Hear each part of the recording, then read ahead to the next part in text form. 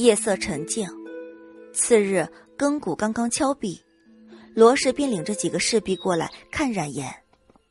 冉颜正坐在廊下看院子里一株绿萼梅，见罗氏过来，便起身施礼：“十七娘。”罗氏挥手让其他侍婢都下去，携着冉颜坐在了廊下的羊毛毡上。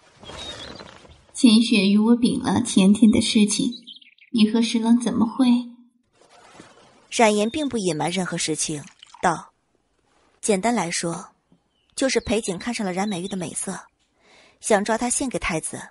冉美玉出卖了我，建议他把我献给太子。后来呢？”根本不是老夫人想要见我，是冉美玉与裴景说了我们的意图，他们设下了圈套而已。冉言把事情言简意赅的概括了一下，罗氏脸色大变。他们用了那种下流的药，把你和十郎放在一起，这手段太卑鄙肮脏了。若真的是出了点什么事，冉云生和冉言的一辈子就毁了。唐律上也是有明文规定，近亲不许通婚，否则轻则鞭笞，重则流放。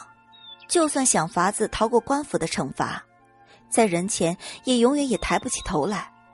前日的事情，罗氏已经询问钱学和尔东十几遍，也询问了邢娘，他们知道的也寥寥。冉云生死活不愿意露半个字，他那日被下的药太猛。忍了那么久，又是第一次，不知轻重，结果把耳东伤得不轻。事后清醒起来，更是羞愧难当，实在无颜面对耳东，只敢在他睡着的时候偷偷过去看望。而且冉云生在冉莹面前有那种欲望，纵然是被药力刺激，但也不可改变的事实，令他更加羞愧，不敢面对冉颜。可以想见，这件事情对他的打击有多大。唉，这个没脑子的。罗氏说的自然是冉美玉。既然裴景把她放了回来，他如何不能把事情与罗氏或冉平玉说？总有法子解决呀。戈兰端了江水来，放在两人中间。冉言淡淡接着罗氏的话题：“哼，他哪里是没有脑子呀？怕是太有脑子了。冉美玉的心思，他也能猜到。”恐怕是想借着这个时机，正好除掉他这个心头刺，甚至不惜祸害冉云生。若是单纯的怯懦，冉言也不会对他下狠手。冉言一向认为，无声无息的把人杀掉是一种仁慈。他是法医，又修过心理学，自然知道怎么让一个人永远活在痛苦之中。对付冉美玉这种被宠坏了、心肠又恶毒的孩子，根本不需要大动干戈。就这点小菜就够他吃上一阵子。至于高氏的反扑，冉颜眯起了眼睛。戈兰恐怕早就等候一个时机了吧？想到戈兰，昨天晚上他居然一下子就猜到了自己的意图，并且带了东西过来接应，这样敏捷的反应，冉颜庆幸他不是敌人，否则对付起来也只能像对付裴景那样灭口了事。听了冉言的话，罗氏脸色更加难看。他本来对高氏仅有的一点排斥感，是因为郑夫人死后不到一年，冉文便娶了高氏，而且高氏还是小门户出身，想必是用了什么狐媚法子勾引了冉文，但仅此而已。后来高氏也不曾表现的像别人那样，不断从他们家搜刮财物，见面也表现的大方得体。在罗氏心里的印象也稍微好了一些。有其女必有其母，罗氏知道冉美玉小小年纪居然如此歹毒，可见平时是受了身边之人的影响。于是当下便决定，让冉平玉立刻送她回苏州。冉云生长得俊美，又格外孝顺，性子也极好，是以罗氏特别溺爱孩子。自己的孩子遭到这样的算计，他实在难以心平气和。缓了一会儿，罗氏才道：“昨日萧侍郎来拜访，但你还昏迷着，你叔伯便替你回了。”冉言这才想起前日曾说过让萧颂来找他的话。他知道我的情形了。这种事情怎好往外说，只说你病重昏迷。不过萧侍郎若是想知道实情的话，怕也不难。罗氏道，冉言点头。从政府出来就卧床不起，任谁都会怀疑发生了什么事情。而那个局也不是没有破绽，萧宋若要查，定然能扒出真相。这次多亏有你，罗氏是真心感谢。他不敢想象，如果冉言是个没什么主意的，两人又都被药力左右，结果会怎么样？师娘不必如此客气。冉言道：“罗氏这时才理解，冉云生为什么会对冉言特别关爱，除了欠郑夫人的人情，也因为的确值得，至少他知恩图报。你好好休息吧，我让医生。”来给你开个食补的方子，这些天好好补补。罗氏看着冉颜清瘦的脸，不禁道：“冉颜微微弯起唇，多谢婶娘。”罗氏说笑了几句，正要起身离开，便听见外面吵吵嚷嚷，不禁皱着眉，朗声道：“怎么了？”有个侍婢匆匆跑过来道。目光悄悄递了冉颜一眼，小声回罗氏道：“夫人，十八娘的几个贴身侍婢过来寻夫人，说是说是昨夜十七娘跑进十八娘的寝房，把十八娘刺伤了，流了满榻的血。十八娘受到惊吓，现在还在哭。”罗氏眉头皱得更紧，虽然他也恨冉美玉歹毒，居然把冉云生也算计进去，可是，在府里就伤人。若是冉文质问起来，府里也不好交代，遂转头看向冉颜。冉颜若无其事的抿了口水。婶娘何不叫来问问？罗氏顿了一下，道：“让他们进来。”须臾，冉美玉的三个侍婢在罗氏贴身侍婢的带领下走入院内。怎么回事？罗氏声音威严，对他们吵吵嚷嚷很是不满。那个叫雨儿的侍婢第一个开口道：“昨晚十七娘把奴婢弄晕，跑进寝房里刺伤我们娘子，我们娘子受了惊吓，现在还抖个不停。”哦，罗氏看了气定神闲的冉颜一眼，问另外两个侍婢道：“你们也看见十七娘进屋伤人了？”那两人摇摇头。着浅杏色乳裙的侍婢道：“奴婢昨晚听见声响，便起榻查看。”看见雨儿昏迷在屋内，叫了几声叫不醒，奴婢便想把她抱到榻上，却莫名其妙的晕倒了。你呢？罗氏问剩下那个着深碧色罗裙的侍婢。奴婢在榻上被人用帕子捂晕，约么是有迷药。他言语简洁，罗氏知道冉颜会一点医术，他有迷药也不足为奇。当下心里就信了几分，沉吟片刻，才问冉颜道：“十七娘，你可有什么话说？”冉颜放下杯盏，看向雨儿：“你说我把你弄晕，然后跑进寝房里刺伤十八娘。”雨儿对上他黝黑的眼眸，心底有些打怵，却还是抿唇点了点头：“你既然晕了。”又怎么知道我进了十八娘的房间？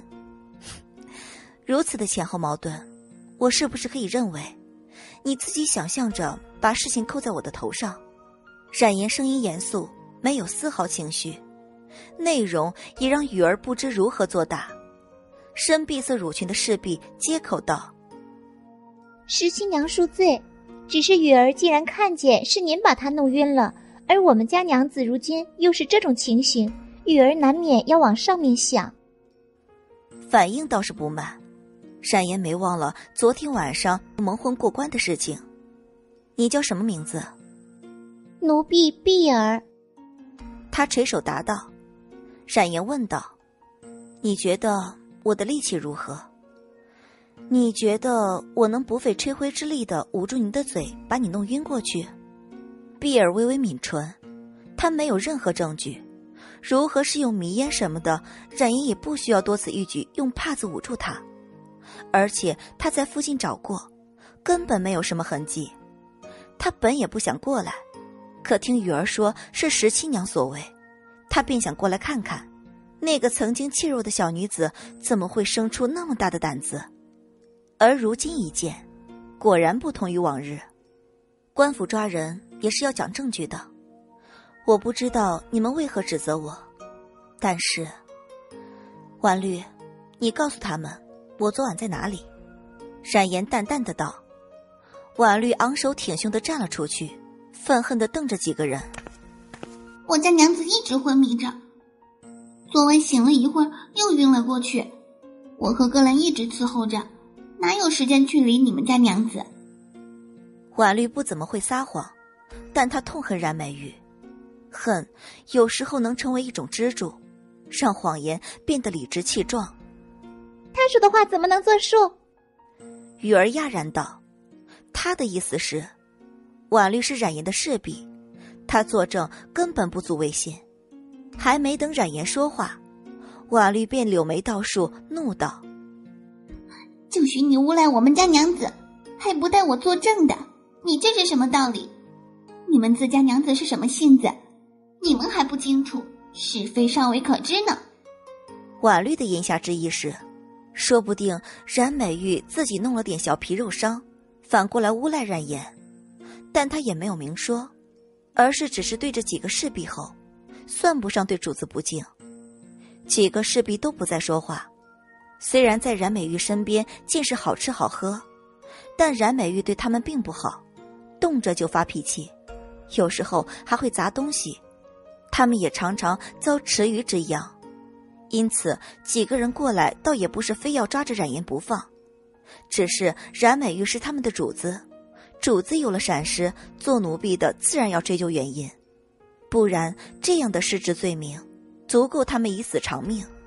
说白了，也就是尽量的推掉责任。十八娘伤势如何？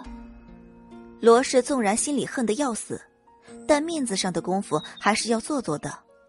碧儿答道：“奴婢和桃儿检查过。”右手臂上有一道一寸长的伤口，已经被包上，心口皮破了，也结痂了。这么点伤口也不是什么大伤啊！冉美玉做出如此卑鄙的事情，就算真是冉言划了泄愤，也算不得什么。到时候冉文问起来，句式答了就是。罗氏松了口气，他哪里知道这伤口有多深，在冉美玉心里划下了多么不可磨灭的一笔。罗氏心里不情愿，却还是道：“我去看看吧。”他转身嘱咐冉言好好休养，便领了几个侍婢去储水居。冉言对此事并未放在心上，表面上看来，冉美玉身上只是皮外伤，然而真正威胁性命的伤口只不过是一个小小的针孔而已。除了那几个侍婢的指证，再也没有别的证据证明是冉言所为。如果冉美玉还真有胆子说点什么，冉言不介意再补上一针，就算死了，也保证不会有人能验出来，包括刘青松。早膳不久后，荣倩便过来看冉言，一见到他，荣倩顾不得问前日的事情，满面兴奋的道：“来来，我同你说，昨长安城可是有大新闻了。”而且还有几十年来难得的一件趣事。哦，何事？看荣倩如此表情，冉言也起了兴致。荣倩未说先笑，一脸幸灾乐祸的表情道：“你是不是知道，飞景他们一帮顽固，昨晚在一家妓馆里玩的疯了，今早一片狼藉的被人围观，这还不是有趣的？”荣倩乐不可支的道：“有趣的是，昨儿他们一起去妓馆，老鸨以为来了大生意，便殷勤招待。等酒过了三巡，都有了些醉意之后，他们竟然命小厮把妓人都轰了出来，说是要自个玩，不要打扰他们。结果到日晒三竿，老鸨还不见人，便去敲门，这一敲门就开了。”荣倩卖了个关子，见冉颜露出关注的表情，继续道：“老鸨经营妓馆二十余年呢，却还是被那场面惊呆了。六个郎君都光着屁股，那个地方满是污物，还都流着血呢。”容倩怕冉颜会错意，说那个地方的时候指着臀部。说罢，可能觉得自己和一个未出阁的娘子说这么露骨的话有些过了，干咳了两声，但又不愿意错开这么精彩的话题，便没再吱声，等着看冉爷的反应。被人玩弄了？冉爷问道。容倩见他毫无羞涩，愣了一下，旋即便又更加兴致勃勃的道：“哪里啊？我听人说，看那个样子。”是他们关在屋子里互相玩。唐代并不似魏晋时那样盛行南风，尤其贞观年间，对道教的扶持在一定程度上抑制了南风的发展。道教崇尚阴阳说，极力排斥男男这种违反阴阳的结合，因此时下对待南风之事保持着既不严打也不赞同的态度。所以，一般有些身份的人，虽然会把侠妓当作风流韵事，却不会把侠玩娈童拿到台面上来说，更别提互相侠玩这种龌龊的事情。冉言并不了解这些，只是觉得有些奇怪。这么巧合，不可能是报应吧？我琢磨着他们是不是得罪了谁，被人给整了。容倩笑盈盈的看着冉言。凑近他，小声道：“是萧侍郎吧？”冉颜眉梢微微一挑。“哦，有证据？”容倩因为知道冉颜被下了药，而他想来想去，觉得裴景最可疑，因此才会怀疑萧宋是替冉颜打抱不平。事实上，这件事情一早才传出，根本没有被发掘出什么内幕，揣测而已。这种话也只能私下与你说说。若这事真是萧侍郎做的，恐怕还有好戏看。萧宋表面上凡事留三分，对谁都是客客气气的，可真要是惹毛了他，他都是往死里整，而且不弄得人身败名裂、家破人亡，绝不罢手。他在朝野名声不错，容易为何这样说？冉言一道，容倩有些迟疑。在他看来，萧宋看上冉颜，那绝对是势在必得。如果把他的坏处说的太多，引起冉颜抗拒的话，不会有什么好下场。但想回来，冉颜若真是入了萧府，有些事情还是知道的清楚些好。遂道：“萧侍郎少年的时候是京城顽固中的一霸，斗鸡走狗，打架斗狠。”混的程度，这飞景可是远远比不上。因他那些手段，实在令人闻风丧胆，也惹出了不少事。后来被宋国公扔到战场上历练了几年，听说可是真的扔在了兵卒堆中，而且还是先锋。回来之后啊，人变得沉稳内敛许多，也从不打架生事。可一旦有把他得罪狠了的，很快便会大祸临头，每每查起来，又总与他们有关系。坊间人传，萧宋是煞神转世，我确实不信的。当年的萧宋和裴景不同之处是，他从不无故的祸害平民百姓，所谓斗狠打架，也不过是对与他作对的纨绔。宋国公一生严于律己，为人正直刚毅。定然不允许自己的子孙心术不正，再三教育萧宋而无果，所以盛怒之下便把他丢到战场上生死由命。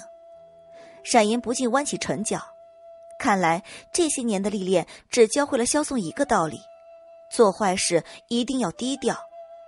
荣倩见他不怕反笑，心中也不由暗暗称奇，转而问起了前日在政府发生的事情。荣倩怀疑萧宋。冉言自然也不会说的太透，只是模模糊糊的说了一个大概，并未提到裴景等人。娘子，萧郎君来了。瓦律从门外进来，容倩暧昧轻笑道：“还真是说曹操曹操就到了，那我就不耽误你了。”说着便起身告辞。本章播讲完毕，欢迎继续收听。